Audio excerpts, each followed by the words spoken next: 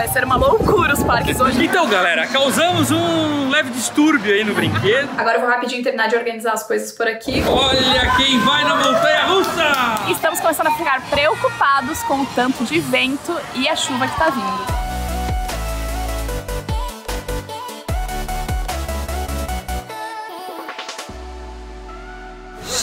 Chegamos no SeaWorld, o nosso primeiro parque do grupo SeaWorld. A gente vai fazer mais outros dois parques ainda e vai compartilhar tudo com vocês. A expectativa aqui é alta porque as crianças estão empolgadas em ver os animais e os adultos estão empolgados com as montanhas russas, então vai ser um dia muito divertido. Mas a nossa primeira parada vai ser procurar um restaurante para tomar café da manhã. A gente comprou os ingressos em uma promoção em que o plano de refeições está incluído. Então a gente não tomou café da manhã e as crianças já estão com fome, estão pedindo pra gente ir comer. Então vai ser a nossa primeira missão do dia.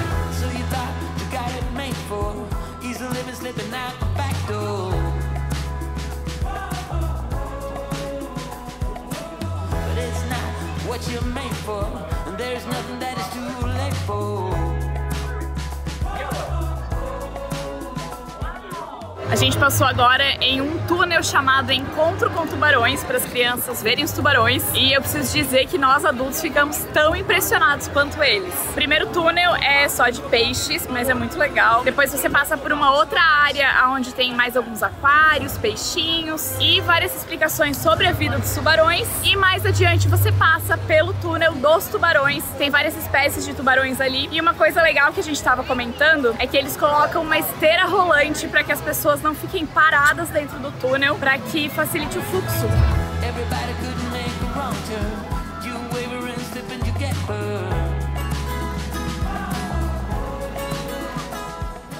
A gente está aqui esperando para entrar na fila da Mako, que é uma das montanhas russas mais famosas do SeaWorld. Nós estamos esperando porque meu pai foi levar a minha mochila e as coisas soltas que a gente tinha por aqui, porque não pode entrar com nada solto nesse brinquedo. Tem locker, mas os lockers são pagos, custa 3 dólares. 3 dólares a primeira hora e 1 dólar cada hora adicional. Então, como a minha mãe e a minha cunhada não vão nos brinquedos, elas ficaram com as crianças e com as coisas. E a Mako imita o nado de um tubarão.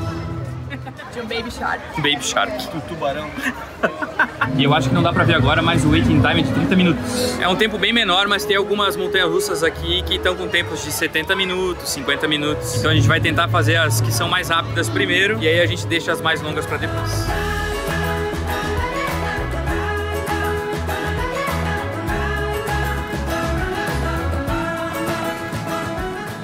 Vai provar aí o assento. Oh, meu Deus! Uhul! Vai de boa. Ah, mas tem freio, ó. Dá pra ir mais... Tem freio. o legal é que vários desses brinquedos têm um protótipo, assim, como se fosse um assento pra gente testar. Então, pessoas muito grandes, muito altas, é sempre bom dar uma testada porque pode ser que não caiba no brinquedo. Porque eu não sei se vocês notaram ainda, mas eu sou o mais baixinho daqui, eu acho. Eu e a Fábio. A galera toda aqui é mais alta.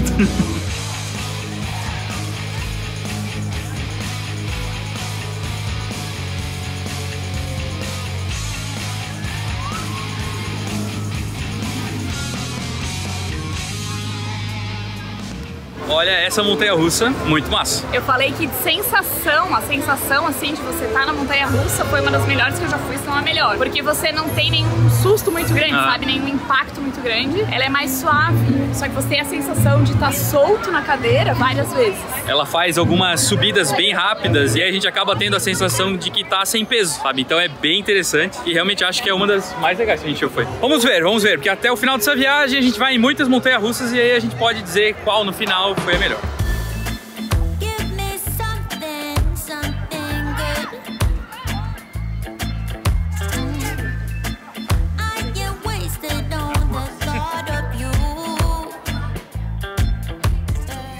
Está agora aqui na fila da Manta, nossa segunda montanha russa. A gente se dividiu agora um pouco, a gente está só com o pai e com o irmão da Fábio. E esse aqui é um pouquinho diferente, ó. Apesar de a pessoa estar tá sentada normal, numa cadeira, esse carrinho aqui vira e a gente acaba ficando deitado. Então é uma posição bem diferente do que a gente está acostumado a andar numa montanha russa. Ela imita o movimento de uma raia. E uma coisa legal dos parques no grupo SeaWorld é que a gente pode escolher o lugar. Na verdade, a galera que se organiza aqui na fila para entrar no brinquedo. E aí o pessoal vai se amontoando aqui nas filas e a gente pegou a fila que é um pouco maior para número 1, um, ou seja, para o carrinho da frente. Então, para gente que gosta de ir no primeiro carrinho, é melhor.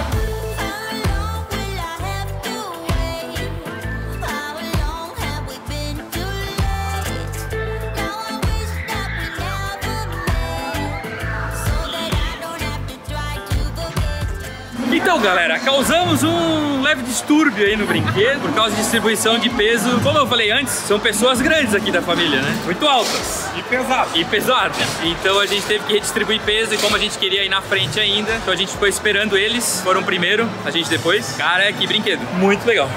Esse valeu a pena. Valeu, né?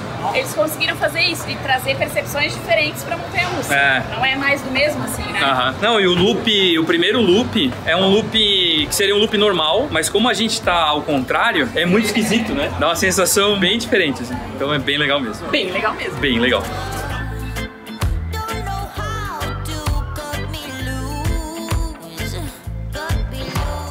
Reencontramos a família e olha só a pose do Bruno. É isso que eu tô É um falando. rapaz chique, né? Olha aí. Não, é muita pose. Só olhando o horário dos shows, pra aproveitar os shows. Né, Bruno? Controlando as filas. controlando as filas, né?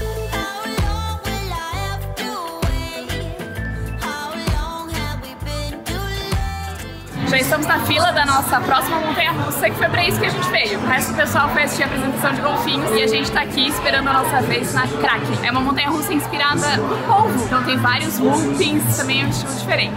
E quem nunca ouviu a frase Release the Kraken? Nunca ouviu? Se não me engano, é no Piratas do Caribe que aparece essa frase. O Kraken é um polvo gigantesco, é um monstro que aparece em contos de marinheiros. A galera que trabalha nos mares aí tá acostumada com esse nome.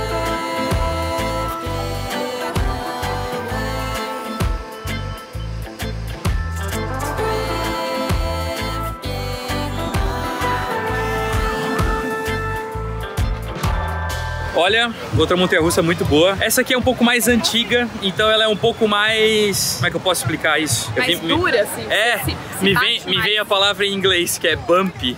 Você se bate mais, assim, É, sabe? parece que a gente tá andando numa estrada com buracos, entendeu? Ela faz um pouco mais de barulho, dá assim, a gente dá umas cabeçadas assim no, no banco, mas é muito legal, acho que vale muito a pena. Até agora, todas as montanhas russas aqui foram muito boas. E é essa coisa de realmente uma ser diferente da outra, É, a gente isso sente. é legal, Não é. é, muito parecido, assim. Então, Essa aqui tem muitos loops, ela vira do nada, assim, então a gente não dá às vezes muito crédito por ser um pouco mais antiga, mas vale a pena. E agora a gente vai pra mais famosa, mais nova, que é a Pipeline, uma montanha russa onde a gente vai de pé. Como é que foram os shows dos golfinhos aí? Da hora? Foi bem legal. Ah, cara, é Criançada durou de certo. né? loucura, né? Pergunta pro Bruno qual foi a melhor parte do show, Bruno. O que, que você quer? A melhor parte do show foi quando molhou de gente. Bruno. Molhou Eu não acredito! Sério? Our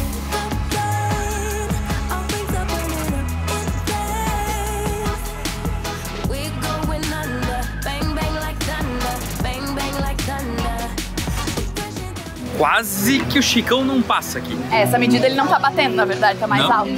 E agora a gente tem uma filinha aí de uns 55 minutos pra ver como é que é essa montanha russa.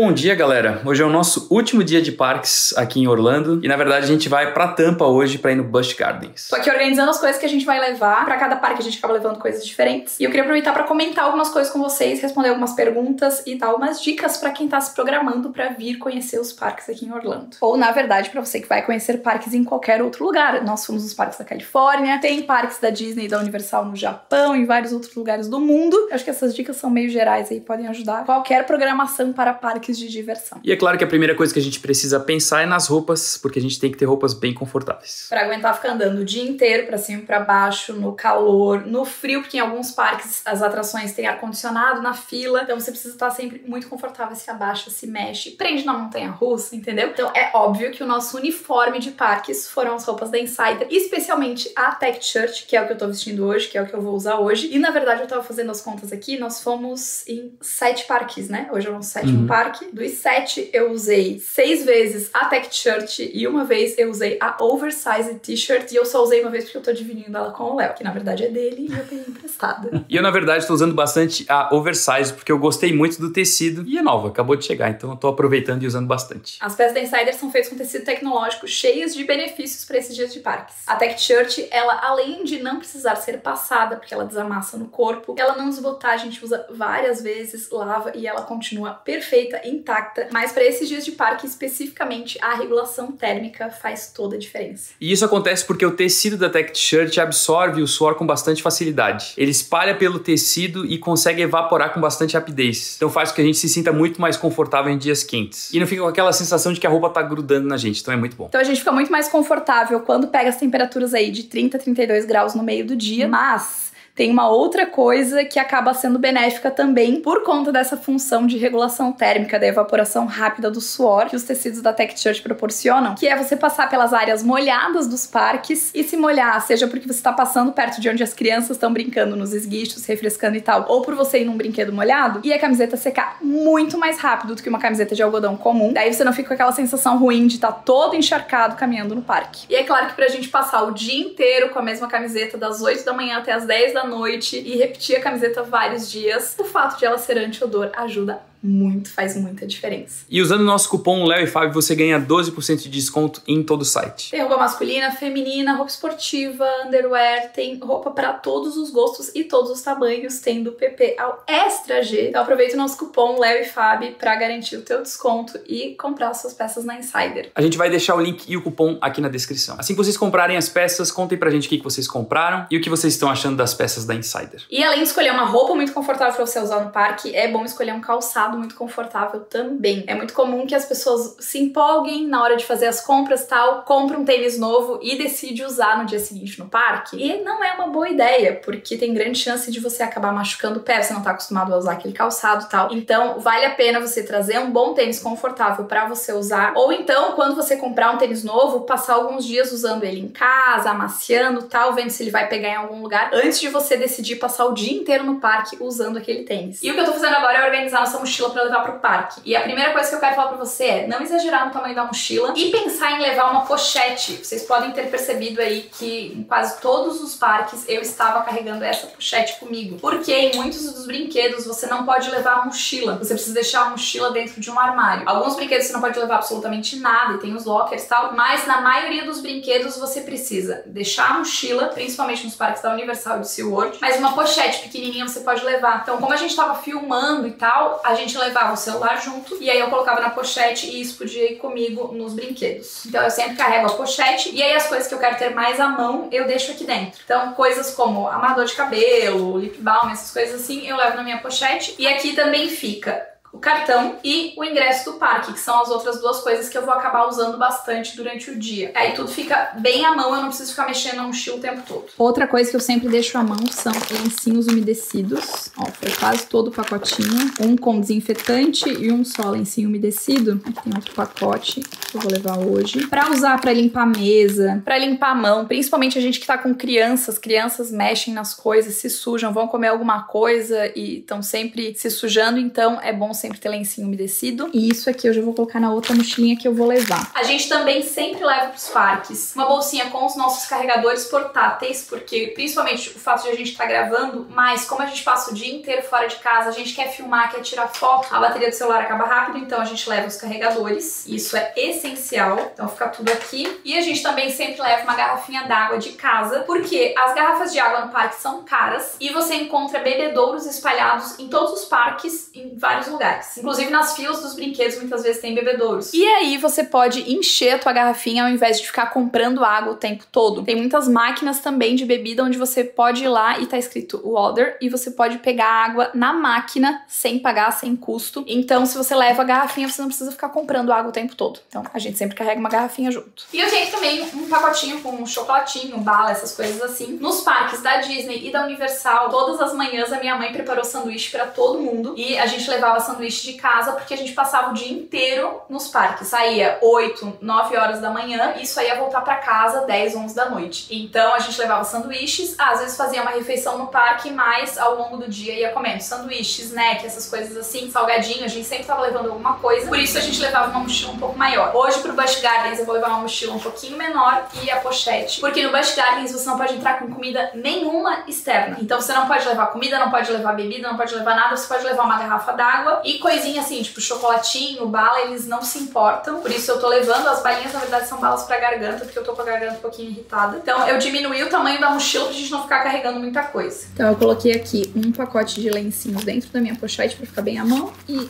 os outros dois que já estão começados aqui na frente da mochila, no bolsinho da frente, que fica fácil de pegar. Eu vou levar esse daqui também, vai dentro da mochila. Meu lip balm vai dentro da pochete. Os carregadores também vão dentro da mochila. A gente tá levando um tripézinho pra gente poder gravar e tirar foto. Os parques têm restrição, você não pode levar o que eles chamam de self-stick ou pau de selfie, que a gente chama no Brasil, que são aqueles extensores grandes pra você tirar foto e tal. Mas tripé eles permitem levar. Então a gente tá levando um tripézinho, não muito grande, também tem restrição de tamanho, mas esses aqui pequenos a gente pode levar. Óculos de sol, hoje a previsão é de chuva, de tempo nublado, mas mesmo assim eu vou levar óculos de sol, eu nunca fico sem. E basicamente é isso. Outra dica que eu acho importante para as mulheres, se você tem cabelo comprido e gosta de ir em brinquedos radicais, vale a pena você prender o cabelo. Eu vou deixar pra me arrumar agora no trajeto, porque a gente tem uma hora e meia mais ou menos até tampa. Aí eu vou passar protetor solar, vou me maquiar e vou fazer tranças no meu cabelo pra ficar com o cabelo bem preso e quando eu for nos brinquedos não me incomodar, não ficar o cabelo todo bagunçado. Agora mais umas dicas gerais aí baseadas nos comentários dos nossos últimos vídeos e também no Instagram. Baixe os aplicativos dos parques. É lá que você vai encontrar os horários de abertura e de funcionamento dos parques. Isso é uma das coisas que perguntaram pra gente, os horários e tal. E também nos aplicativos você consegue ver o tempo de fila, você consegue ver aonde estão os restaurantes, o que, que tem em cada restaurante, se você quiser fazer uma refeição nos parques. Você também consegue ver o mapa do parque pra se localizar, ver quanto tempo leva de uma atração pra outra, se tá muito longe ou perto e tal. Então você consegue se organizar com o aplicativo dos parques. Cada grupo tem o seu próprio aplicativo, então vai baixando os aplicativos de acordo com os parques que você escolher fazer. Isso vale tanto para os parques aqui da Flórida como os parques da Califórnia. Tem os aplicativos específicos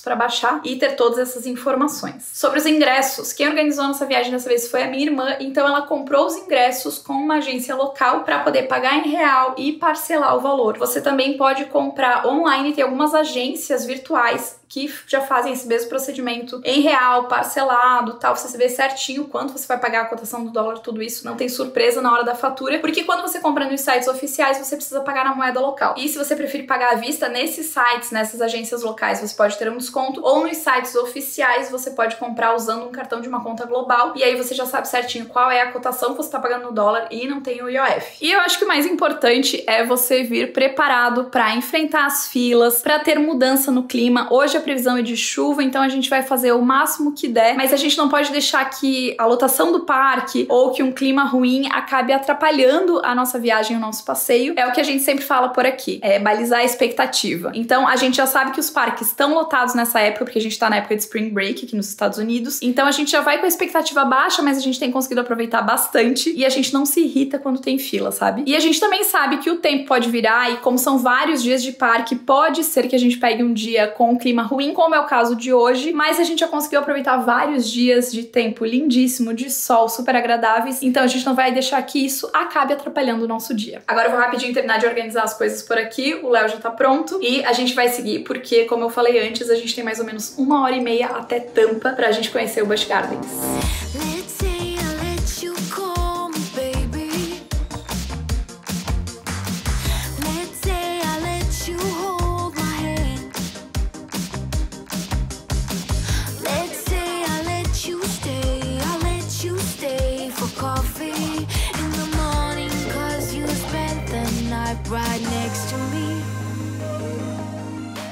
Chegamos no SeaWorld em meio a uma ventania. Seguro? É, no Busch Gardens. Chegamos no Busch Gardens com uma ventania. Vai ser uma loucura os parques hoje. A previsão é de chuva, mas a gente vai aproveitar o máximo que for possível. Afinal de contas, é o nosso último dia. A gente tá na cidade de Tampa, mais ou menos uma hora, uma hora e meia, dependendo do trânsito de Orlando. A gente para no estacionamento, pega um trem bem parecido com o que acontece com a Disney, pra poder chegar aqui na entrada do parque. E a primeira impressão é que nem se compara o movimento dos parques de Orlando Sim. com o Busch Gardens. Acho que a gente vai conseguir aproveitar bastante o tempo antes de começar a chover, porque não deve ter tanta fila nos brinquedos.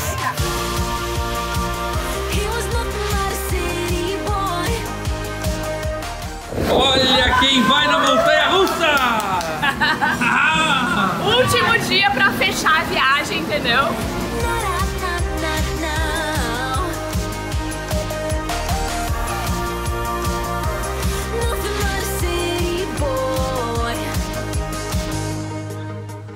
Terminamos a montanha russa e agora a gente quer saber qual foi a experiência da senhora Larissa. Não, foi muito legal. Foi legal? Só que assim, foi apenas três vezes que eu achei que eu ia cair lá de cima. Mas gente, certinho. Vai de novo? Ah, não sei se de novo eu vou não. Mas É foi bem legal. Essa montanha russa, ela é de madeira e ela é meio desconfortável, assim. Desconfortável no sentido de a cadeira não é muito confortável, não é suave, assim. Então acho que essa é pior pra quem não gosta de montanha russa. E se essa foi de boa, acho que dá pra ir nas outras. Concordo. Essa é uma montanha russa toda de madeira, então ela chacoalha um pouco mais. e aí os- Barulho, né? É, tem bastante barulho, mas é bem legal. Vale bastante a pena. Ela é uma montanha russa híbrida. Não Ah, sim, é- ela tem uma parte de metal e uma parte de É madeira. uma combinação Ah. de metal e madeira.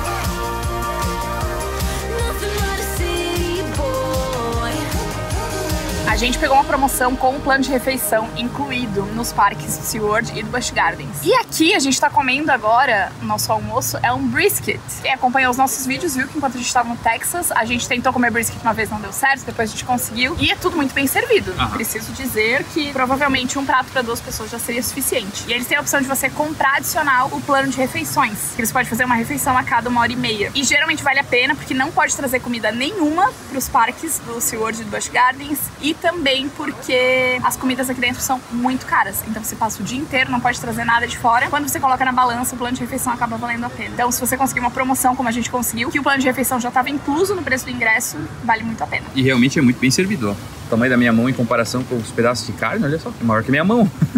e é uma carne bem temperada, então é bem gostosa. Estamos aqui na área infantil, na Vila Sésamo, tentando aproveitar um pouquinho dessa área, porque praticamente todos os brinquedos montanhas russas estão fechados por conta do clima. Vocês provavelmente estão escutando o vento e a previsão é que daqui seis minutos comece a chover, mas chover muito. Inclusive, tá falando aqui em 95% de chance de chuva com trovoada e pela cor do céu, a gente tá, Tá escurecendo esperando, muito. vai cair o céu. Israel. Vocês já escutaram essa expressão? A gente fala que vai cair o céu de tanta chuva. Tá tendo uma apresentaçãozinha da Vila Sésamo e o nosso sobrinho menor, de 3 anos, ele quis assistir. Então a gente tá dando um tempinho aqui, mas provavelmente a gente já vai terminar o nosso dia de parque, porque infelizmente não vai dar pra aproveitar. E estamos começando a ficar preocupados com o tanto de vento e a chuva que tá vindo. E esse é um parque bem arborizado, então a gente fica preocupado também de começar a cair galhos e tal, tá começando a vir coisa no olho. Então a gente acha que é realmente melhor sair daqui. A gente aproveitou muitos parques, então não é porque a gente não conseguiu aproveitar esse especificamente, que não foram semanas incríveis. O lado bom é esse, a gente aproveitou todos os parques com dias lindos e só hoje que o tempo tá feio, É. então não dá nem pra reclamar. E tá todo mundo cansado também. Acaba que nem é tão ruim assim fazer as coisas com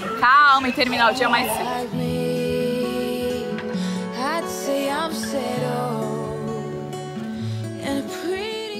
Oi, de chuva! Uhul! Oi, com de chuva. Vem, vem, ali, ali, ali, ó. Vamos. Knows what to do and how to take care of